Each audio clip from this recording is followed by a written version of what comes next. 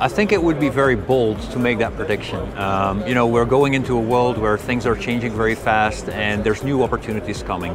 And we see that happening already today with AI. Um, we see new use cases coming up. We see people kind of getting new creative ideas about what they can do. Um, to give you an example, um, we're very active in the planning and scheduling of resources, uh, where people kind of you know build plans and schedules, allocate resources and all that.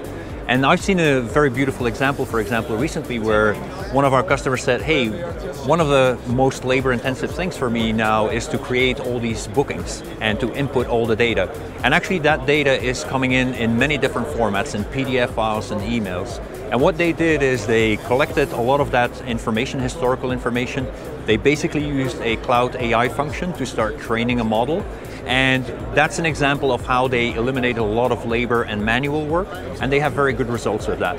But that's something that you know, probably six months ago, nobody would have thought of. Maybe people would have thought it was not feasible, um, but it's proven to be very, very feasible uh, these days. So I would say with all the evolutions that we see now, uh, we will continuously see popping up new opportunities, new ideas. And I think that's also the future, you know, putting yourself into a position that you can actually make those steps. And it really starts with building, for example, a unified data lake uh, what we like to call a digital twin of your operation, making sure that you have good quality data that you can act upon with new technologies that are coming in.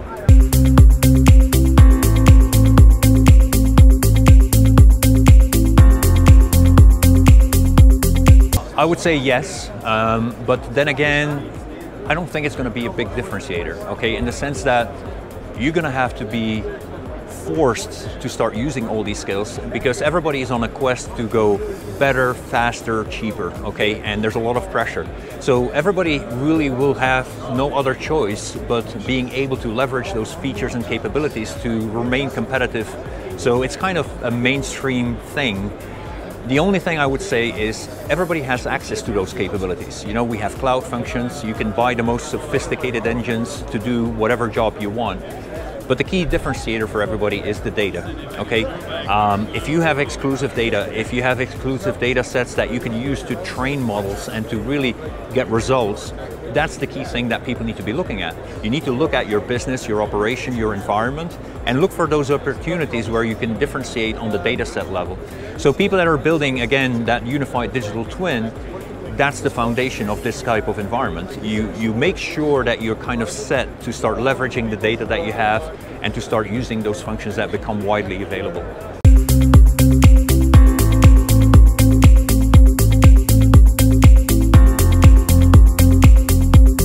Well, in terms of skills, I think I would hope not that much.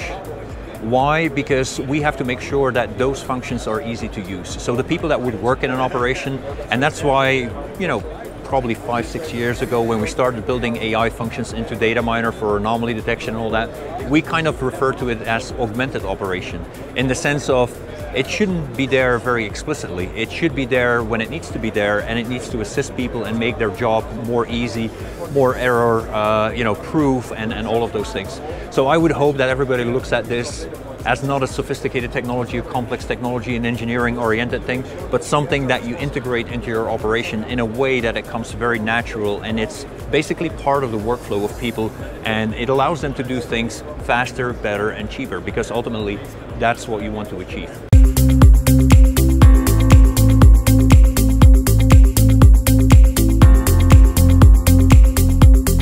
I think the biggest challenge for a lot of organizations is that they will be not ready in terms of the data and how they can leverage it. There's still a lot of companies out there that, you know, if you look at the data in an organization, and when I talk data, I'm really talking about everything. I'm, I'm talking about, I have people, they have names, they have contact information and phone numbers, they have contracts, but you have bit rates and you have frequencies and you have satellite transponder capacity.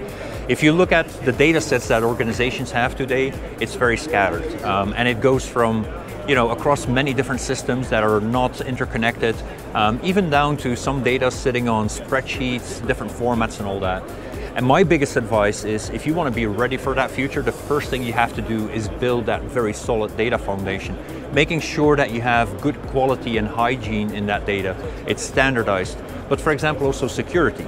You know, if you have a lot of data, there's also certain risks in terms of security. Is it well protected? You need to make it easy accessible, but at the same time make sure that it's not being misused. So I, my biggest advice these days is look at your organization, look at finding a way and a strategy to unify that data lake, that data set, that digital twin, to be able then to start leveraging those functions.